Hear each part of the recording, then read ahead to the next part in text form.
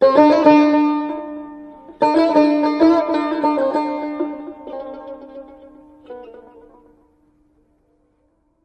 الله الرحمن الرحیم و صلی الله علی محمد و آله الطاهرین در حضور عزیزان و گرامیان هستیم. در ادامه مباحث مجالس سبعه حضرت مولانا در مجلس سوم رسیدیم به این قسمت. میفرماید سید المرسلین چراغ آسمان و زمین صلی الله علیه و سلم روزی میان یاران نشسته بود. روی به حارسه کرد و گفت ای حارسه امروز چون برخواستی از خواب؟ گفت مؤمن برخواستم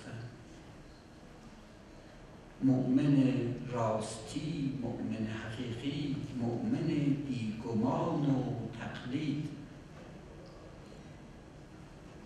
آنجایی که احرار نشینند نشستیم وان کار که ابرار گزیدند گزیدیم.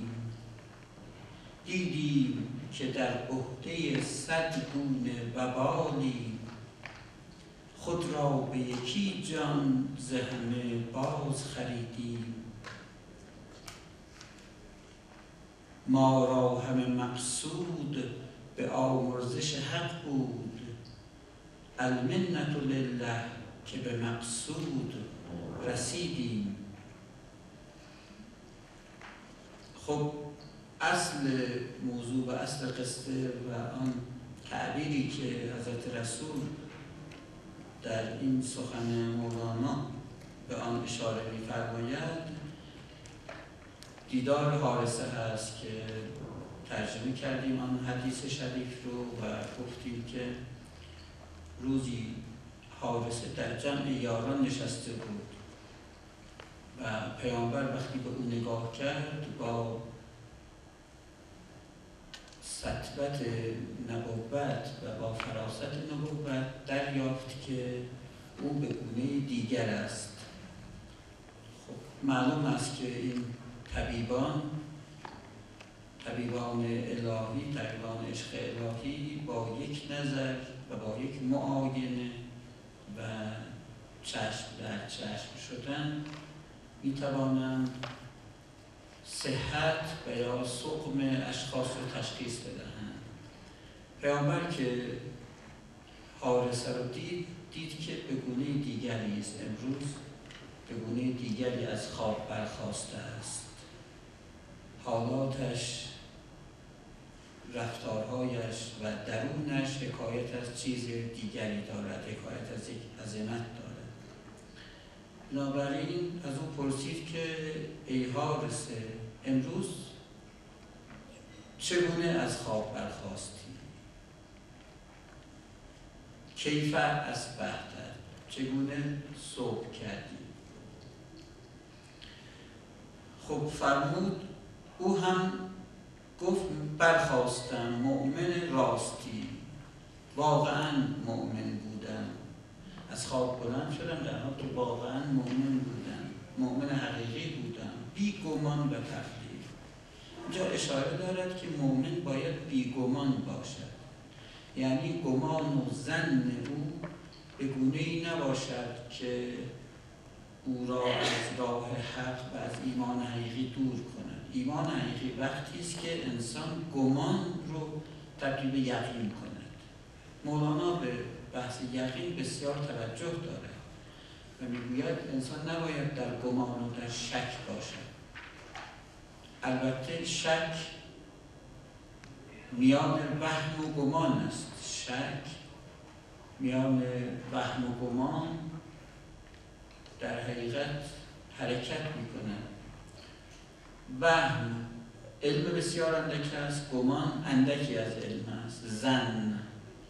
این وهم و زن هستند که و شک هستند که انسان رو از راه راست دور می‌کنن و مؤمن حقیقی میبایست که هم جهل هم وهم هم شک و هم گمان رو از خود بزداید و به یقین برسد و به علم برسد.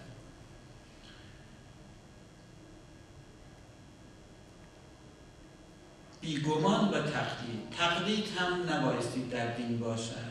تقلید هم در دین راه صحیحی نیست مولانا اصولا کسی است که ضد تقلید است با تقلید هرگز سر سازگاری ندارد آنجا می‌گوید که خلق را تقلیدشان برباد داد مردم خیلی از کارهای مردم از روی تقلید است از روی عادت است بنابراین مولانا این را نمیپسندد می‌گوید که کارتان بر اساس تقلید نباشد. در هر کاری که می‌کنید با اندیشه و فکر و تفکر خودتان باشد. هرگز نگویید که فلان کس چنین کرد من هم چنین خواهم کرد. این در راه ایمان راهی را به انسان نشان نخواهد هرگز هیچ چیز را بدون تحقیق بدون دانستن بدون اینکه انسان حقیقت آن را به دست بیاورد نباید از آن پیروی کند و دنبال روی کند. میبایست که انسان کلا از تقلید دور باشد. البته آن شاید این ذهن در خاطر این مسئله در خاطر شریعتان بیاید که پس این تقلید مذهبی و تقلید دینی و تقلید از فقها که گفته می شود چیست؟ این به نظر بنده اسم بدی است که برای این انتخاب کردن.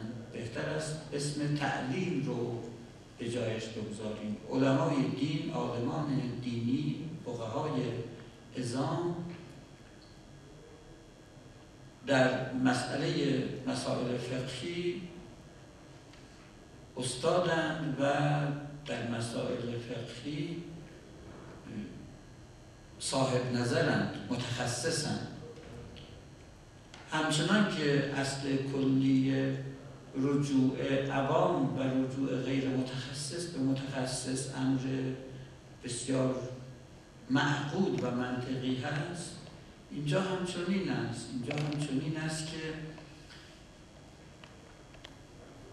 انسانی که مثلا به مثال انسانی که مریض است چشمانش درد می‌کند یک علتی پیدا کرده است. قلبش علتی و مشکلی پیدا کرده است ریهش یا هر جایی از بدنش مشکلی پیدا کرده است. او مراجعه می‌کنه به متخصص به پزشک متخصص. حتی اکنون پزشک فوق تخصص مراجعه می‌کنه که تخصصش در یک امر خاصی است. و این کار اقلایی است که انسان که مریض است جایی از بدنش مریض است مشکل دارد به متخصص یا مثلا به فوق تخصص مراجعه کند این امر عقلانی است. در هر جایی باید چنین باشد مشاوره روانشناسی نیاز دارد. خب انسان که نمی‌رود با بقال مشاوره کند با افراد دیگر. باید برود نزد یک روانشناس روان پزشک مجرد استاد که متخصص است و با او مشاوره کند. انسان در هر کاری که می‌خواهد انجام دهد شرط آن است که به نظر متخصص رجوع کند. رجوع به متخصص مرجع که می‌گویند مراجع ازامی که ما داریم اینها مرجعن در حقیقت مرجع تخصصی هستند شما می توانید دو کار بکنید. یکی این که می توانید بروید مثلا دانشکده پزشکی پزشکی بخواهید بعد تخصص بگیرید. بعد فوق تخصص بگیرید.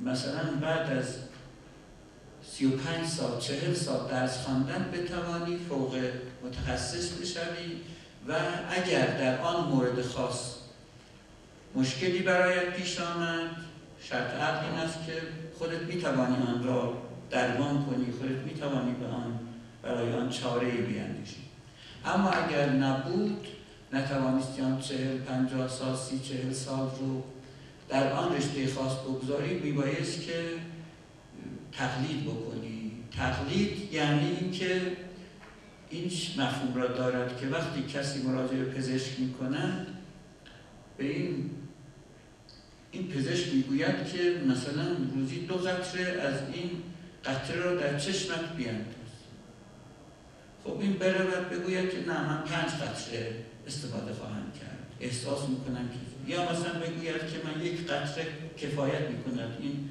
فوق تخصص متوجه نشده است. خب آیا اقلا این رو میپذیرند؟ آیا اقلای جامعی رو میپذیرند؟ نه می‌گویند که او اگر متخصص است و شما به متخصص مراجعه کردی باید صد درصد به سخنانش توجه کنی. هر مثلا هر دوزی از دارو رو که بیان کرد شما باید هم عمل کنی و ملتزم باشی. غیر این راهی نداره. اگر اسم این تقلید است که بسیار خوب. اما اسمش تقلید اسمش تعلیم است. او متخصص است یاد می‌دهد می آموزد و ما هم از قبل نمیگیم که مقلدیم ما میگیم عالمان عالمان دین. این عالمان دینی هم همینطور هستن. یا شما باید بروید پنجاه سال درس فقه و اصول و مسائل مربوطه رو بخونی بتوانی در آنجا متخصص یا فوق تخصص بیابی.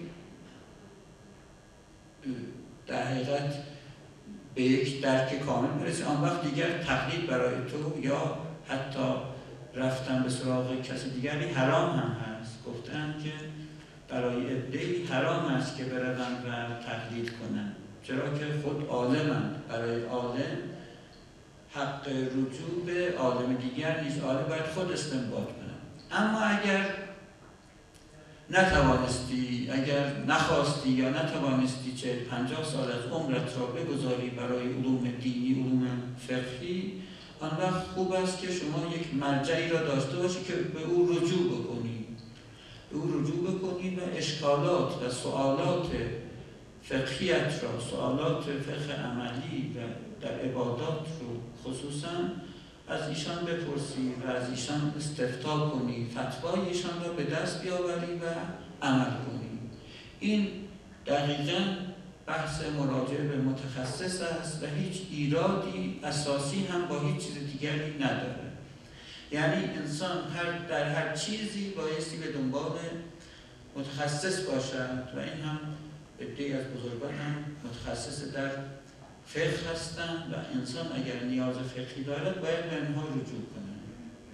اما در غیر فقه چه؟ مثلا در روانشناسی باید به چه مراجعه کرد؟ باید به متخصصش در پزشکی در جامعه شناسی در عرفان در هر چیز دیگری بایستی به متخصص خودش مراجعه کرد. و اگر مثلا من بروم از متخصص روانشناسی راجع به فقه بپرسم چه کاری کردن؟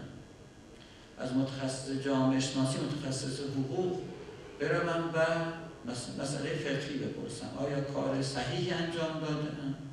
البته اوقلا می‌گویم که تو از غیر متخصص چیز دیگری را خواسته ای. بایستی هر کسی سخنی که می‌گوید بر اساس تخصص خود باشد. و خارج از تخصص خود هیچ کس حق ندارد که چیز را بیان کنه اکنون باب شده است مد شده است. همه دارن راجع به اسلام مظلوم راجع به شریعت راجع به دین راجع به ایمان همه دارن نظر میدن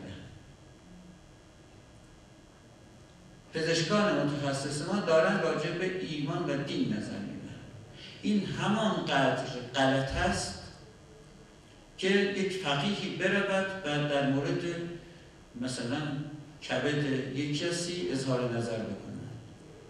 فرقی نداره.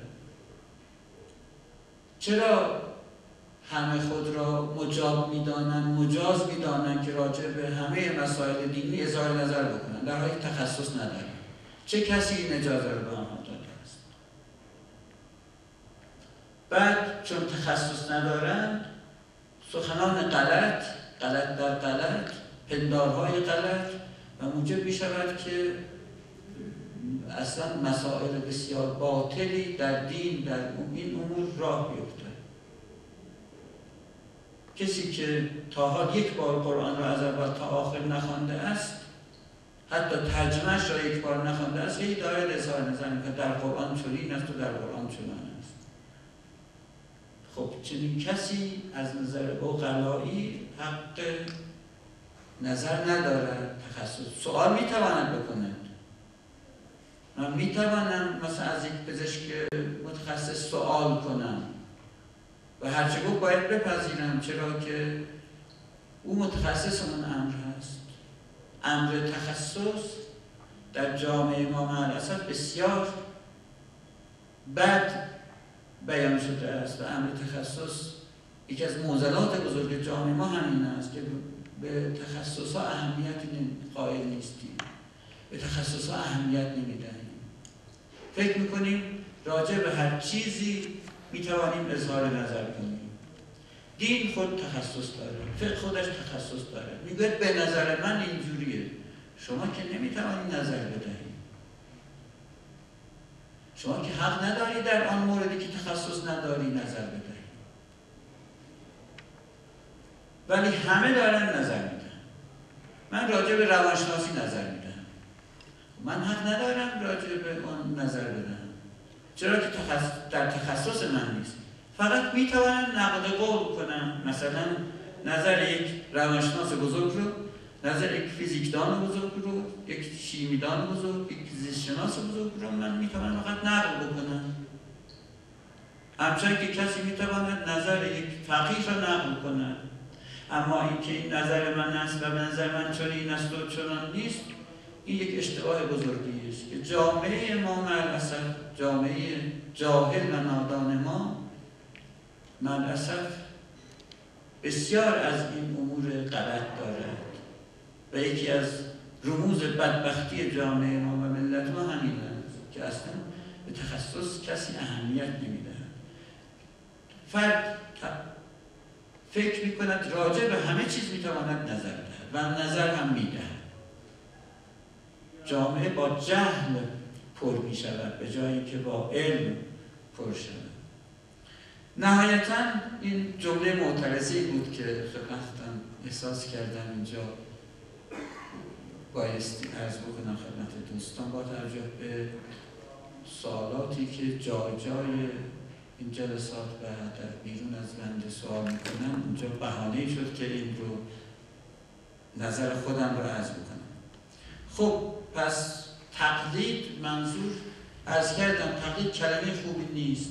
نباید از تقلید کلمه تقلید استفاده کرد بلکه تقلید امر درستی نیست. باید تعلیم گفت یعنی یعنی مراجعه گفت. رجوع جاهل به عالم که یک اصل است. رجوع بین جاهل و عالم و رجوع جاهل به عالم چهار حالت ممکن است باشد. رجوع جاهل به جاهل. غلطه. هیچ وقت جاهل نباید به جاهل رجوع رجوع جاهل به عالم. فقط این درسته. رجوع عالم به عالم غلطه. چرا که عالم وقتی در خودش در اون رشته تخصص داره باید به فکر خودش عمل کند نه با رجوع به دیگری. رجوع عالم به جاهل که بدتر از همه هست که این هم خیلی اتفاق میفته از این جهت تنها رجوعی که اینجا صحیح است رجوع جاهل به عالم است. که آن تقلید کلمه مناسبی نیست. من تقلید رو نمیپسندم. کلمه دیگری رو به جایش بگذاریم. بگوییم تعلیم. آنان عالمان دینند عالمان فقهند. بنابراین ما میبایست که به آنها رجوع کنیم. اگر نمی‌دانیم رجوع کنیم و از ایشان بیاموزیم. همچنان که مسائلی که می‌بینید و توضیح مسائلی که هست همه برای این است که انسان این رو بداند. نمی‌داند مثلا نماز آیات رو مثلا چگونه می‌خوانند مثلا خب برود بخوانند. نمی‌داند در بین رکعات شک کرد چه باید بکنند خب برود بخواند علم پیدا کند. جاهل است نسبت به آن علم پیدا می‌کنند خب دیدیم که در عهده صد گونه وبا. وبا آن چیزی که بر گردن انسان است و مشکلی که بر انسان باز می باز می‌رسد. فرمود آنجایی که احرار نشینند نشست احرار یعنی آزادگان. آنجایی که آزادگان نشینند ما نشستیم. کار که ابرار گزیدن گزیدیم.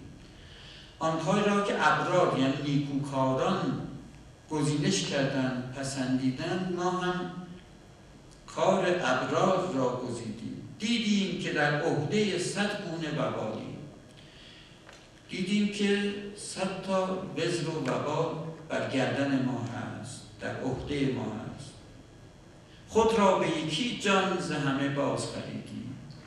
از همه این وبال ها از همه این وابستگی ها از همه این گرفتاری ها خودمان را باز خرید کردیم. یعنی خودمان را خریدیم و از همه این وبال ها خودمان رو خلاص کردیم. ما را همه مقصود به آمرزش حق بود. همه مقصودمان غفران حضرت حق بود. المنت لله که به مقصود رسیدیم. این منت به خداوند و منت یعنی تشکر قدردانی منت پذیری. المنت لله که به مقصود رسیدیم. پیغامبر صلی الله علیه و سلم فرمود که خب وقتی او گفت مؤمن برخواستم چون برخواستی از خواب گفت مؤمن برخواستم پیغامبر فرمود که هر راستی را نشانی است گفتی که مؤمن راست هستم هر راستی هر راستی نشانه ای دارد. نشانه آن چیست؟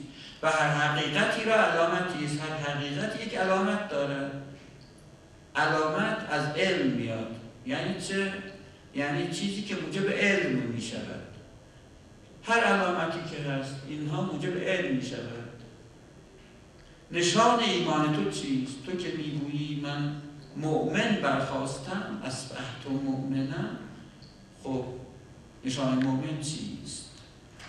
چگونه هستی که می‌گویی من مؤمن برخواستم گفت یا رسول الله من از دنیا دور شدم که دنیا را دام غرور دیدم و هجاب نور دیدم.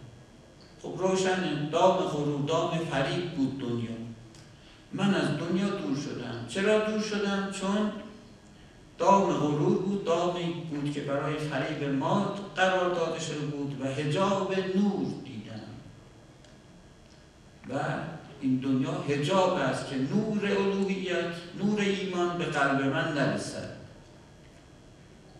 به روز تشنه صبر کردم. روزها که روزه گرفتم و به تشنگی صبر کردم و شب بیدار بودم. شبها هم تا صبح شب زنداری می کردم و به نماز و مناجات مشغول بودم و این ساعت معین عرش رحمان را به چشم ظاهر می بینم این ساعت که اینجا در محضر شما نشستم عرش رحمانی رو عرش الهی رو با این چشمم دارم می بینم خب آیا می شود با چشم ظاهر عرش را دید؟ غالب علما که غیر عارفن می‌گویند نه نمی شود عرش رحمانی رو با چشم ظاهر نمی شود دید. اما غالب عرفا می‌گویند با چشم ظاهر می‌توان دید چرا نتوان دید وقتی او ظهور دارد وقتی او تجلی دارد چرا نمی‌توان عرش را دید؟ آنها که خود از دیدن عرش ناتوان بودند گفتند که عرش را نمی‌توان دید. با چشم ظاهر نمی‌توان دید. مثلا با چشم دل می‌توان سخن بیهوده است رو با چشم ظاهر هم می‌شود. دید آنها که ندیده اند ناتوانی خود رو دلیل بر نبود گرفتن مانند کسی که مانند خفاشی که برود در قاری بگوید خورشید را نمی‌توان دید. یک نفر هم بیاید بگوید به خدا سوگن که من خورشید را خودم با این چشمانم دیدم می‌گوید دروغ می‌گوید اگر خورشید را می‌دید چشمانش کور می‌شد نمی‌توانست ببیند. او کجا خورشید را دیده است؟ او در حجاب نفس خود است در حجاب ناتوانی و نادانی خود است. از این جهت است که انسان هر کاری را نتواند خود انجام بدهد از دیگران هم انکار می‌کنه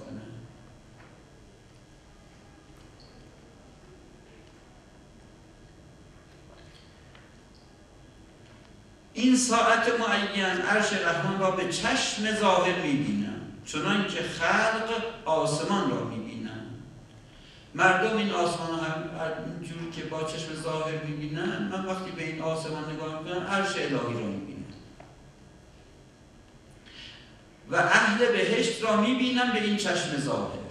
مولانا اینجا چشم ظاهر را می آورد که ادهی گوه نبرن که منظور چشم دل است و بصیرت است و درونی چشم درونی است. نه با همین چشم ظاهر. دیدن اگر دیدن است با همین چشم باید دید. اهل بهشت را می‌بینم به این چشم ظاهر. میان بهشت یکدیگر را زیارت می‌کنن من اکنون که نگاه می‌کنم می‌بینم اهل بهشت همدیگه رو زیارت به زیارت هم می‌روند. ایدان یکی از خصوصیاتی که در بهشت وجود دارد که انشاءالله ارزانی همه ما باشد ارزانی ها گرانی نیست. بهشت رو میگه گفتن بهشت رو به بها می‌دهند. نه به بهانه نه اتفاقا به نظر این حقیر بهشت رو به بهانه می‌دهند به بهانه می‌دهند و الا اگر قرار باشد به بها بدهند که بهشت به هیچ کس نمی‌رسند چه کسی بهای بهشت را دارد؟ آن رزوان الهی آن بهشت عظیم الهی چه کسی می‌تواند به آن برسد؟ به یک بهانه می‌دهند و بسیار است از این بهانه هایی که برای بهشت بوده است مثالی هست مشهور که می‌گویند یکی از اولیای الهی شبی را که یکی از مفسدان از دنیا رفت اهل فساد بود هر کار زشت را کرده بود از دنیا رفته بود. آن شبش یکی از اولیای الهی که هم شهری او بود. در خواب دید که فلان بندم امشب در خانهش مرد. فردا صبح به تشییع جنازه او او را اکرام می‌کنیم بر او نماز می‌خوانیم و مردم رو دعوت می‌کنیم. از خواب که بیدار میشه می‌گوید که آن آدم فاسق فاجری است این چه آدمی است ولی خب چون دستور الهی بوده است فردا می‌رود مردم رو جمع می‌کنند آن فاسق فاسد فاجر را که مرده بود از خانهاش بیرون میآورند بر او نماز می‌خوانند دفن می‌کنند مانند مؤمنان و برای او طلب آموزش می‌کنند بعد شب دیگر او را در خواب می‌بینه که در غرف بهشتی در جنات است در جنات نعیم دارد سیر می‌کنند پرسید مگر چه کردی؟ تو که در این جهان به اذعان همه مردم انسان زشتکار و پلیدی بودی بسیار پستی کردی بسیار گناه کردی چه بود؟ گفت من خودم هم در شک هستم. من خودم هم واقعا نمی‌دانم چرا اکنون اینجاست خودم هم باور نمی‌کنم. اما وقتی همه اعمال بد مرا آوردن در آنجا قرار دادن همه رو مستوجب آتش دیدن. ناگهان یکی از فرشتگان عملی رو از من آورد. گفت این انسان وقتی که داشت می‌رفت در بیابانی و در بیابان بیاب داشت می‌رفت. سگی را دید که گرد چاهی آمده است و لح لح می‌زند. نمی‌تواند وارد آن چاه شود آب بخورد. خیلی تشنه بود. این مرد هیچ وسیله نداشت. کلاه خودش را به جای سطح قرار داد دستار و امامه را به آن پیچید و با کلاهش برای آن سگ آبی از چاه بیرون آورد و این آب رو داد که او بخورد. نه به خاطر آن کارش که به آن سگ ما که بنده ما مخلوق ما بود. به او کمک کرد در آنجا. بدون هیچ شاهده بدون هیچ ریایی فقط برای خدا به او آب داد ما را بخشید. همه گناهانش را قصه همین است قصه یک بهانه هست. و ای کاش ما هم بیاموزیم که از این بهانه ها زیاد به دست فرشتگان بدهیم که بتوانند در آن روزی که بسیار سخت است در آن روز به فریاد من برسند. خداوند به یک آب دادن به سگ هم به بهانه آب دادن به سگ او را می آموزد و این از این قصه ها فراوان است و بسیار اتفاق افتاده است.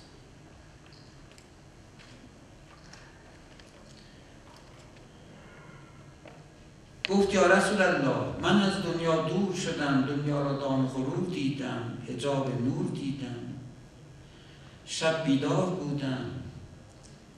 این ساعت به چشم ظاهر عرش رحمان رو می‌بینم اهل بهشت را می‌بینم به این چشم ظاهر. میان بهشت یکدیگر را زیارت می‌کنن. یتزاورونم یتزاورون یعنی به زیارت هم می‌روند. این به زیارت او می‌روند هم به زیارت این می‌روند.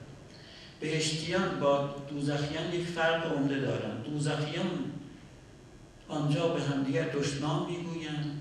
با کلمات زشت همدیگر رو خطاب می‌کنن با همدیگر دشمنی و کینه توزی دارن. هیچ محبتی در دوزخ نیست. اصلا جایی که محبت در آن نباشد دوزخ است. و جهنم است. جایی که عشق نباشد جایی که انسان ها از همدیگر فاصله داشته باشن آنجا دوزخ است آنجا جهنم است. بهش کجاست؟ بهش جایی است که یتزاورون بهش جایی است که پیغمبر فرمود که انسان ها به زیارت هم می‌روند همدیگر رو زیارت می‌کنند. به همدیگر شاباش می‌گویند و به همدیگر سلام می‌کنند. در قرآن هست که وقتی بهشتان به همدیگر می‌رسن قول سلام همه گفتن سلام بر شما سلامتی و صلح و صفا و عشق بر شما.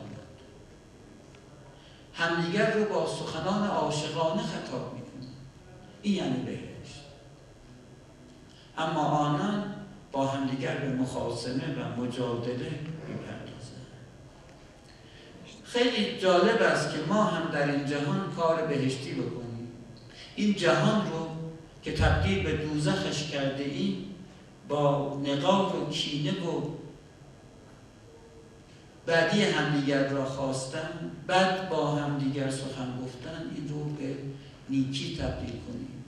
لبخند به هم بزنیم همدیگر رو دوست بداریم به همدیگر عشق بورزیم. عاشقان حضرت محبوب رو بیشتر دوست بداریم. عاشق عاشقان حضرت خداوند باشیم. کینه ها بدی ها زشتی ها رو از دلمان بیرون بکنیم. و اهل دوزخ را با این چشم می‌بینم که قریب می‌کنند و فریادشان به گوش ظاهر میشنوند. اهل دوزخ را می‌بینم که قریب می‌کنند سر صدا می‌کنند و فریادشان به گوش ظاهر میشنوند و فریادشان را با این گوش میشنوند نه با گوشتون خیلی توجه دارد خیلی مهم است این سخنی که می‌گوید.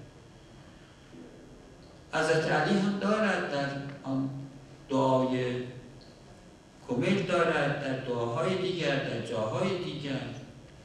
که ان ها و ها فی اصول آزانهم حضرت علی میفرماید آن زهیر و آن شهیق دوزخ و جهنم فی اصول آزانه آزان یعنی در گوش گوش ظاهر. اوزون جمعش می آزان در مورد در خطبه متقین و خطبه حمام که حتما به آن توجه بفرمایید و دوستان همه حتما آن را در مطالعه گرفتن اما اگر کسی مطالعه نکرده است حداقل سه بار این خطبه متقین را با ترجمه مناسب بخواند. خطبه حمام بسیار عالی است بسیار زیباست. هر سخنش یک سخن از عرفان حقیقی عملی است. میفرماید اینان چنان هستند که بهشت را با همه عظمتش می‌بینند. با چشم ظاهر می‌بینن از عین استفاده می‌کنن حضرت علی علیه السلام. از کلمه عین عین یعنی چشم ظاهر. و, و از اوزون استفاده می یعنی گوش ظاهر. اینکه مولانا می‌گوید و ما معتقد هستیم که مولانا دسترسی به کتاب عظیم و شریف نهج البلاغه داشته است و در آن استفاده کرده است از آن فراوان استفاده برده است و در مصنوی شریف در دیوان شمس در مجالس در فیه بافی بسیار بسیار از روایت ها و از سخنانی که در نهج بلاغه عظیم هست از او استفاده کرده است. همچنین که از قرآن استفاده کرده این هم عین همان چیزی است که در بلاغه آمده است. البته خیلی زیباست که ان ها و ها خدا شهیق رو بخونید ببینید شهیق یعنی چه.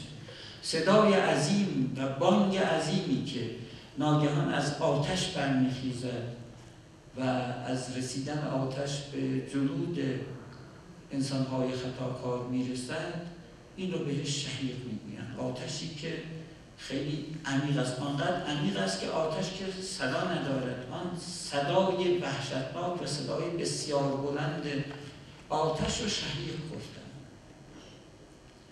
اونم فرمود نه فی آزانه فی اصول آزانه در بیخ گوششان است. یعنی در اصل در گوششان اینها رو میشنوند. و انسان مؤمن هم باید چنین باشد. رسول صلی الله علیه و سلم فرمود اصبت فرزن اصابت کردی. به حقیقت قضیه اصابت کردی. مصیبت هم همینه. مصیبت یعنی چیزی که به انسان اصابت می‌کند مشکلی که به انسان می‌رسد. فلزم پس الزام داشته باش. یعنی این رو ملازم خود قرار بده. لازم بدم خود رو. یعنی هیچ وقت این رو ترک نکن. این حال رو هرگز از دست نده. یافتی. اصبت یافتی. راه راست دیدی. آنچه می‌بینی هم بر این روش محکم باش.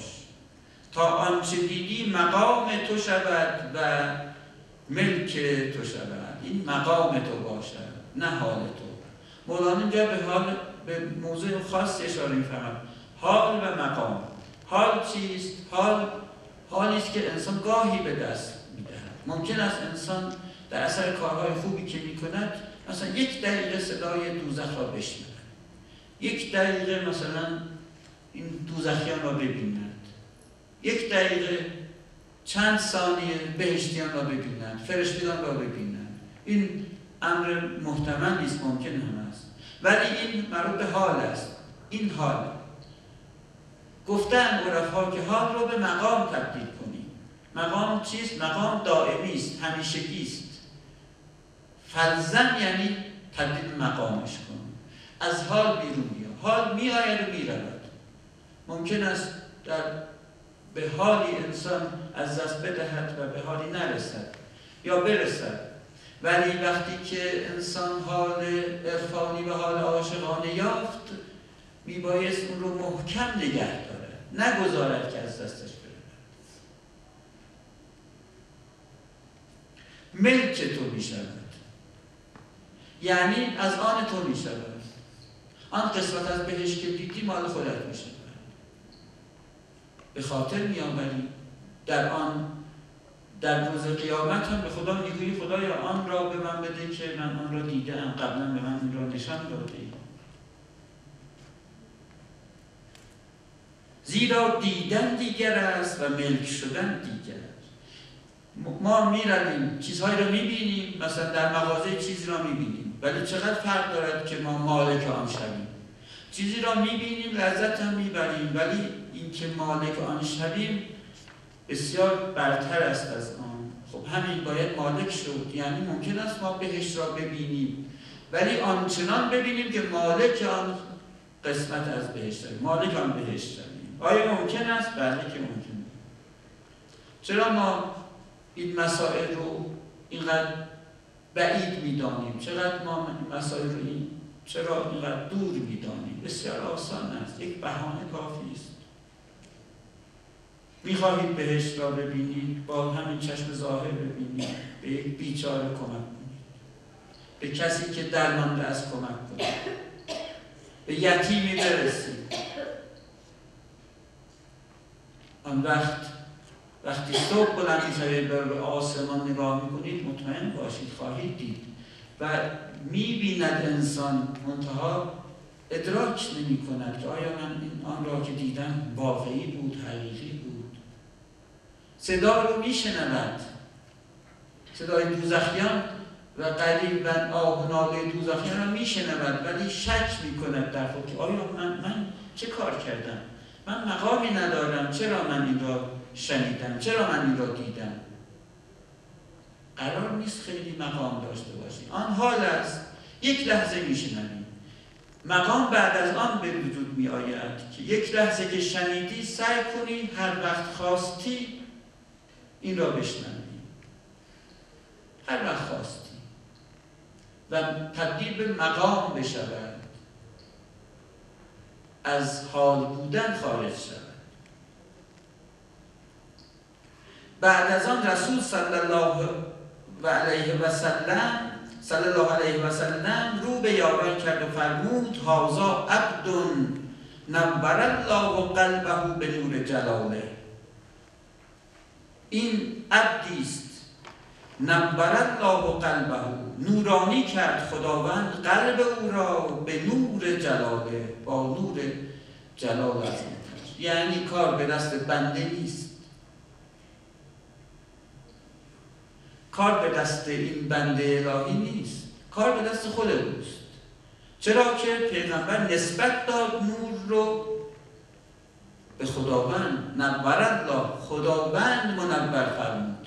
نه اینکه این شخص حال یک کاری کرد یک ریاضتی کشید شبی را بیدار ماند صبحی را تشنه به سرانجام رساند.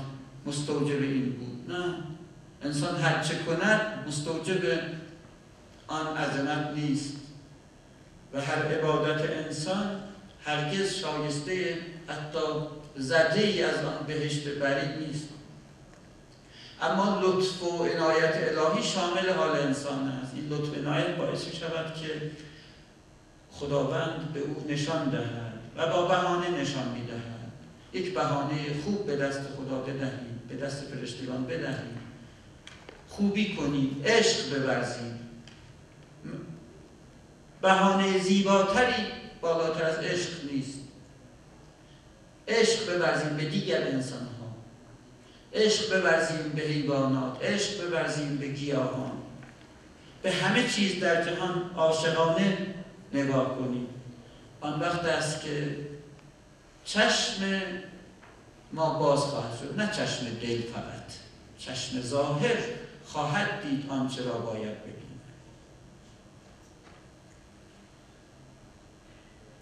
آن سرمکش بلند بینان در باز کن درون نشینان.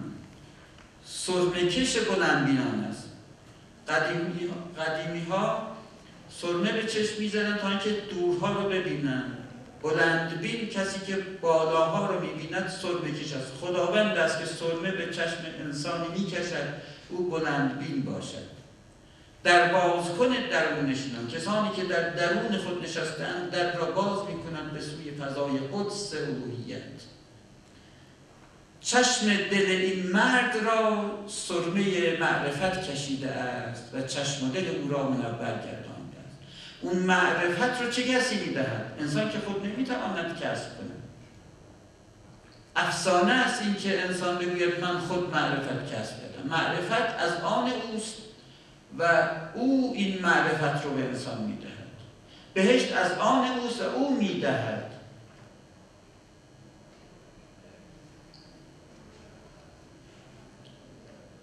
گر پرده هستیت بسوزی به ریاضت بیرون شوی از ورته که این خلق در آن است.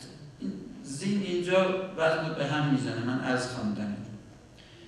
خب این ورته ورته یعنی جایی که هلاک است. ورته موجگاه دریا رو می‌گویند که آنجا موجها میآید و انسانها رو در خود و کشتی ها رو در خود فرو می‌برد. ورطه خطرناک است. میفرماید اگر پرده هستیت را با ریاضت بسوزی یعنی هستی خود رو هستی مادی و ظاهری خودت رو باید بسوزانی. با چه چیزی با ریاضت؟ راجع به ریاضت هم سخن گفته ایم بیرون شوی از ورته ورته که این خلق در آن از این ورته که خلق در آن است از آن بیرون می‌شوی. از آن خطر بیرون میایی پنهان شوی از خیش و زکونه این به یک هم از خودت بیرون می‌شوی و پنهان می‌شوی و هم از کونه این. کونه یعنی دو جهان. جهان دنیا جهان آخرت جهان غیب و جهان شد. اصلا از کونه رها می‌شوی نیازی به آنها ادهی که دنیایشان را میسوزانند به خاطر آخرتشان اینها کار غلطی می‌کنند آنهایی که آخرتشان را میسوزانند به خاطر دنیایشان اینها هم کار غلطی می‌کنند چه کسانی درست این کار را انجام می‌دهند هر دو را دنیا و آخرتشان را میسوزند در عشق و محبت الهی. بر دیده تو این صرف آنگه به عیان است. در عیان و ظاهر این سر رو کاملا می‌بینی. این عالم نفی است در اثبات توان دید. سرگشته در این واقع این خلق از آن است. سخن عجیبی است. میفرماید چرا این مردم سرگشته این جهان هستند؟ به خاطر اینکه این عالم نفی است. این عالم معدوم است. منفی است این عالم. اصلا وجود ندارد حقیقتی ندارد اینجا. چرا عالمی که وجود ندارد و من در آن عالم مجازی هستم وقتی حقیقتی را می‌بینم باور نکنم؟ چرا چشم و گوش من اگر حقیقتی از عالم را دید ادهی انکار بکنم؟ حقیقت را می شود دید اما مجاز رو و آن چیزی که حقیقت واقعی نداره رو نمی‌توان دید. این جهان که حقیقت ندارد دیده می شود اما آن جهان که حقیقت دارد دیده نشود. مگر ممکن است؟ مگر ممکن است چیزی که حقیقت ندارد ببینیم اظهار کنیم که ما این جهان رو این دنیا رو می‌بینیم کوه و درخت و بیابان رو می‌بینیم؟ آن چیزی که اصالت ندارد و حقیقت ندارد. معدوم است این جهان. وجودی ندارد. آرزی است وجود او.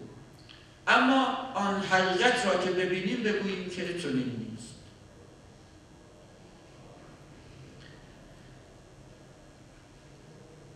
این عالم نفی است در اثبات توان دید. وقتی نفی است یعنی مثل که می‌گوید لا دنیا هیچ دنیایی وجود ندارد. بل به واسطه آخرت می‌توان این دنیا رو دید. به واسطه ملکوت می‌توان ناسوت رو دید. و الا ناسوت که وجود خارجی و بیرونی ندارد. سرگشته در این واقع این خلق از آن است. این مردم سرگشتن به خاطر اینکه فرق اینها رو نمی‌توانند ببینند. چون حارسه طاعت خود را پیش آورد که روز به روزه بودم و شب بیدار و از دنیا دور شدم تا اینها دیدم و شنیدم. می‌گوید چون او طاعت خود خودش رو به پیامبر گفت گفت که من روزه گرفتم و شب زنداری کردم دیدم و شنیدم آنچه خلق نمی بینند و نمی شنوند دیگران عاجزند از دیدنش و من آنها را دیدم. رسول صلی الله علیه و سلم به لطف او را بیدار کرد. لطف فرمود او را بیدار کرد که نماز خود را مبین نیاز خود را مگو. آن به عنایت و بخشش حق دان. بنابراین فرمود که نبرد الله قلبه. یعنی پیغمبر به شکل خاصی به او آموزش داد به این حارسه که مغرور به عبادت خود عبادت شب و روز خود و ریاضت خود مباش. نبرد خداوند بوده که آن نور را در دلت افکنده و در چشم تو افکنده است. یعنی انسان عارف باید تمامی تلاش های خود را اگر توفیقی هم به دست آورد هیچ ببینند اصلا عمل را نبینند و و آثار عملش را هم نبیند. آن فقدی که بحث می‌کردیم در جلسه قبل همین بود. فرق یعنی اینکه انسان نه عملش را ببیند نه آثار عملش را ببیند نه دنیا را ببیند نه آخرت را ببیند نه عقل خود را ببیند نه فکر و اندیشه خود را. در همه اینها مفتقر باشد. از همه اینها جدا باشد.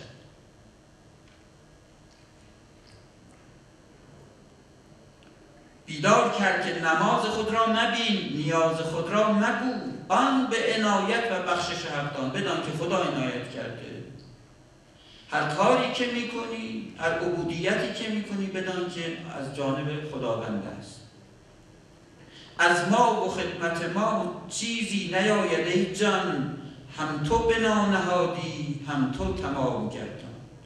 میگه از ما و خدمت ما روشن دیگه چیزی نیاید ای جان. خداوند هیچ چیزی بر نمیآید از ما و خدمتی که در راه تو کردیم. هم تو بنا نهادی این خدمت رو تو بنا نهادی هم تو تمام گردان خودت هم بنایش را شروع کردی و اتمام کن آن نعمت خودت را اتمام کن. دارالسلام ما را دارالملام کردی. دارالملام ما را دارالسلام گردان این دارالسلام یعنی خانه سلم و سلامتی ما رو دار ملامت کردی ما که در دارالسلام بودیم در ملامت نفس در ملامت دنیا گرفتار آمدیم. این دارالملام ما را دارالسلام گردان. قصه ای آغاز می کند باز سپیدی پرید از دست شاه به دستوری بر گوشه بام نشست. خیلی زیباست. مثالی می‌زنن. میگه باز یک باز سپید که باز از آن پادشاهان است مال پادشاهان است. باز سپیدی پرید از دست شاه به دستوری بر گوشه بام نشست. آن شاه گفت که ای باز برو در آن بام بنشین. او رفت نشست. تفلان در قدر و جمال آن باز حیران شدند. کودکانی که در کنار در آن دور بر بودن همه حیران شدن ای چقدر زیباست این باز سپید از کجا آمده است؟ تیتی و توتو می‌کنند و از دور میپندارند که آن باز سلطان از بحر تیتی و توتوی ایشان نشسته است. برای که مرغ بیاد تیتی تیتی میگن یا توتو اینجوری تیتی توتو میگن یعنی اینکه این مرغان رو دعوت کنن. باز شاهی آمده است به دستور پادشاه آمده است آنجا نشسته است. بعد این کودکان آمدن فکر می‌کنن که آها من صداش کردم اومد من گفتم اومد در حالی که نمی‌داند که آن به دستور پادشاه آمده است. این طاعت و عبادت های ما هم چنین است. ما طاعت ها و عبادت ها رو می‌بینیم. جهان یک ملاطفت های عنایت هایی از خداوند می‌بینیم فکر می‌کنیم که عمل ما بوده است کار ما بوده است تیتی و توتوی ما بوده است که اینها رو به سراغ ما آورده است. این مکاشفات و این مشاهدات الوهی کار خودمان بوده است. عجب آدمی بوده این اما می‌گوید نه چنین نیست. آن پادشاه فرمان داده است که آن باز سپید بر بام نظارگی شما بنشیند ندانند که آن باز به عنایت پادشاه به گوشه آن ویرانه نشسته است. نبل الله قلبه به نور جلاله. خداوند قلب او را به نور جلال خود منور فرمود. یعنی کار از بندی نیست کار از حارسه نیست. همه کار از خودش است. یعنی مگو که روز چنین کردم و شب چنان کردم. الا بگو که آن خداوندی که روز را منور کرد و شب را مسطر کرد به عنایت خیش و بخشش خیش بر دل و دیده من رحمت کرد. دل کیست کو حدیث خود و درد خود کند؟ پیدا بود که جنبش دل تا کجا رسد؟ دل جنبشش تا کجا هست؟ از قفس سینه که بیرون نمی آید او چگونه می‌تواند حدیث خودش را بکند و درد دل را بگوید؟ اوست که باید آن دلدار است که باید درد دل را بداند. و الا این دل کجا می‌تواند دردش را بگوید؟ آن دلدار آن دلبر باید بداند که چه دردی است. لا تکونو من ابناء العمل و کونو من ابناء الازل. از فرزندان عمل نباشید که یعنی هر عملی که می‌کنید از خود بدانید. اگر کار نیکی کردید اینجا از خود بدانید. و کونو من ابناء الازل از فرزندان ازل باشید فرزندان خدا باشید. هر عملی را که انجام دادید و خوب بود به خودتان نسبت ندهید. این شرک است. شرک جلی و آشکار است. خفی هم نیست. ادهی این رو گفتن شرک خفی است. نه کجا شرک خفی است؟ شرک جلی است. شرک جلی شرک به توحید افعالی. یعنی اینکه فعل الهی رو انسان به خودش نسبت بدهد من رفتم من گفتم من یاری کردم.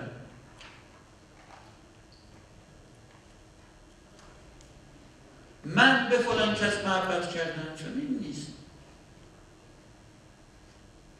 لا تکونو من ابناء العمل. از فرزندان عمل نباشید به عمل خودتان قدر نشوید. و کونو من ابناء الازل از ابنای ازل باشید از ابنای خداوند باشید.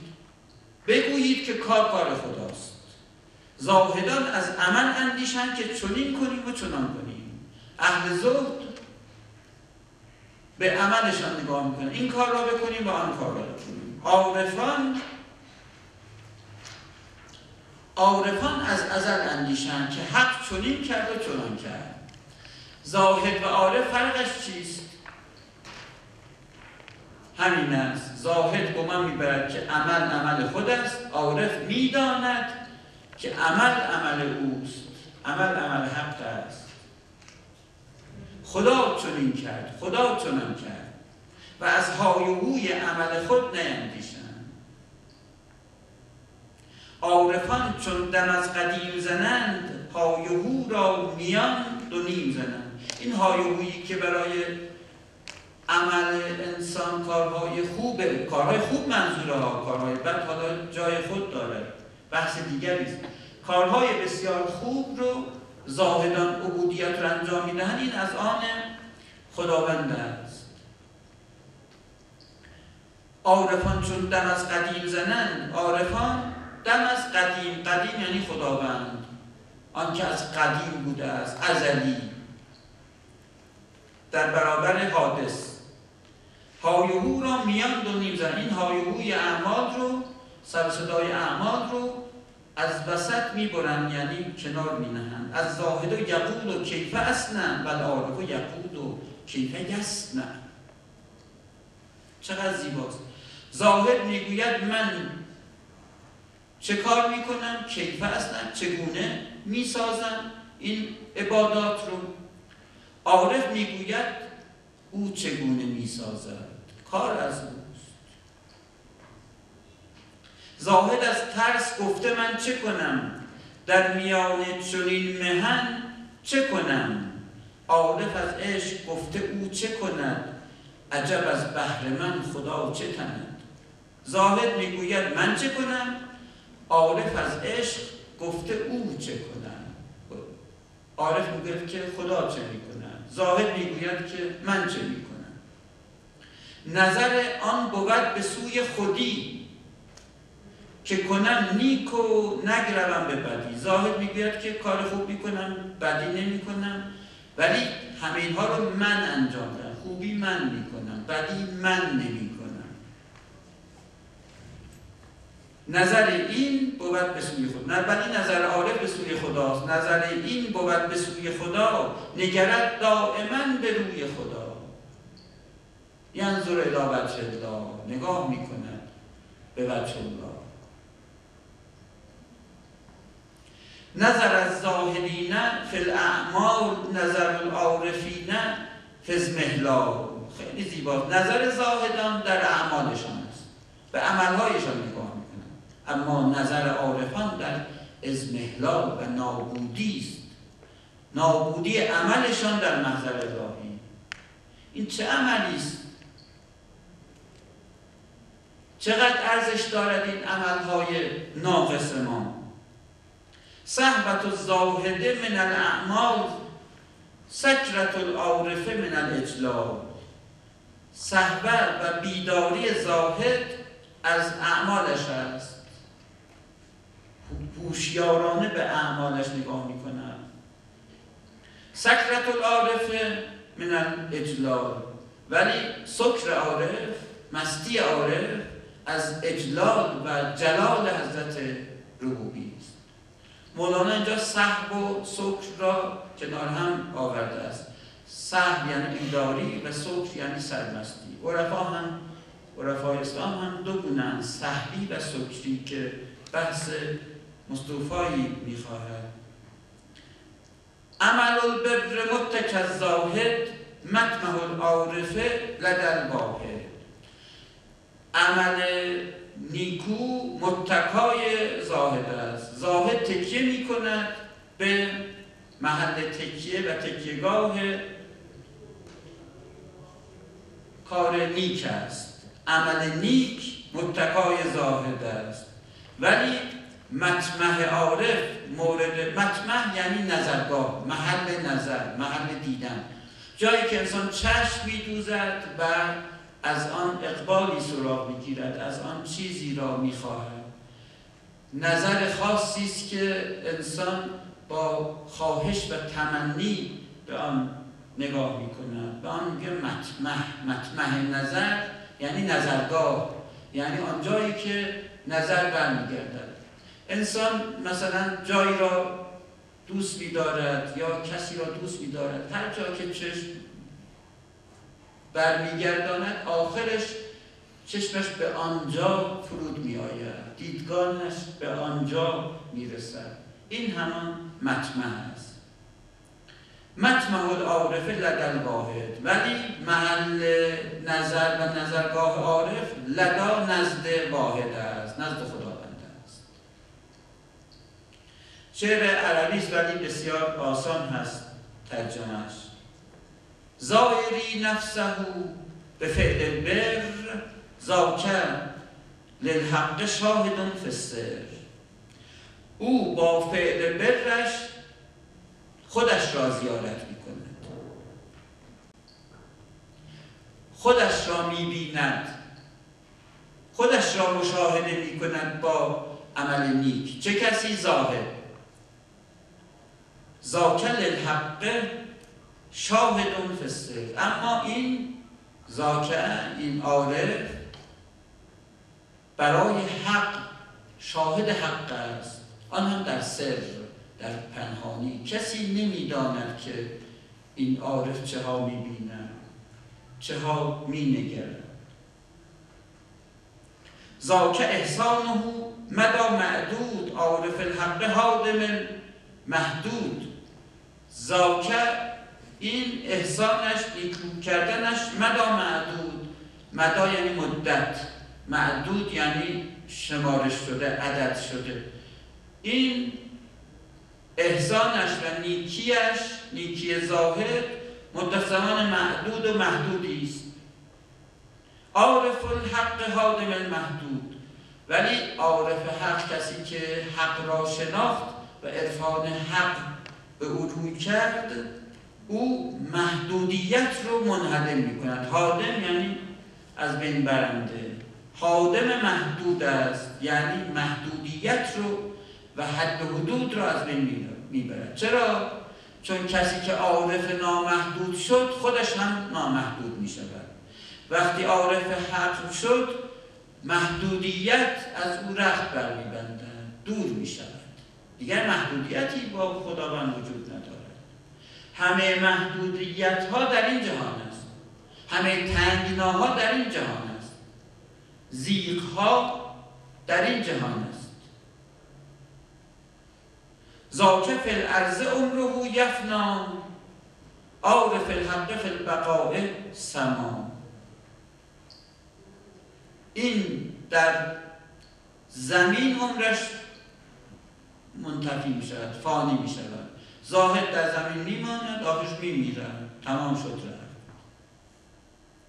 عارف الحق فی البقاء سما. ولی عارف حق در باقی مانده مانند آسمان است. مانند آسمان همیشه پابرجا هست زاهدن در میان خوف و رجا عارف الحق تار فوق حجاب زاهدن در میان خوف و رجا. زاهد در میان خوف و رجا هست. گاهی میترسد که آیا به آن مقام رسیده است. گاهی امید میدارد. خوف و رجا از حالات زاهد است. عارف حق تار فوق حجاب این عارف حق بالای همه این بلندی ها پریده است. مسکن الزاهدین فی زلفرش همت العارفین فی. زل مسکن زاهدان در صاحب فرش است. در این فرش است. فرش و عرش دو جاست دیگه. فرش همین دنیا و عرش هم آن جهان. مسکن زاهدین فی فرش مسکن زاهدان در این فرش است در این زمین است. همت العارفین فی زل عرش. ولی همت عارفان در زل عرش است در صاحب عرش است. زاهدان به صاحبان دنیا توجه می‌کنن. عارفان به صاحب آسمان و صاحب عرش توجه می‌کنن. زاهد می‌گوید آه آه چه کنم من؟ عارف می‌گوید آه تا او چه کنم؟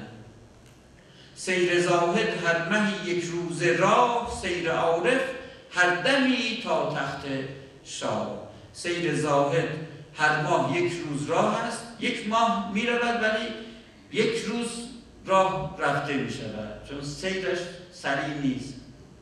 سیر عارف هر دمی تا تخت شاه هر لحظه تا عرش الهی می رود. یک لحظه می رود رخ چو مودان جمال تو را پاک بود آن کمال. تو را. وقتی آن جمال به تو روی نمود کمال او تو را بود هر که آید به سوی او ز حقیقت خبری اندرو از بشریت به نماند اثری. کسی به سوی حقیقت آمد از بشریت دیگر در او اثر نیماند التفاتی نبود همت او را به علم. این علتهای دنیایی موجب التفات و توجه او نمی شود.